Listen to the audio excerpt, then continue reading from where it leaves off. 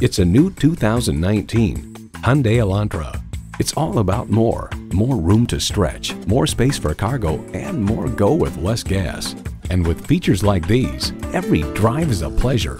Streaming audio, wireless phone connectivity, manual tilting steering column, power windows, manual telescoping steering column, automatic transmission, gas pressurized shocks, and inline four-cylinder engine. Challenging convention to find a better way. It's the Hyundai way. You need to drive it to believe it. See it for yourself today.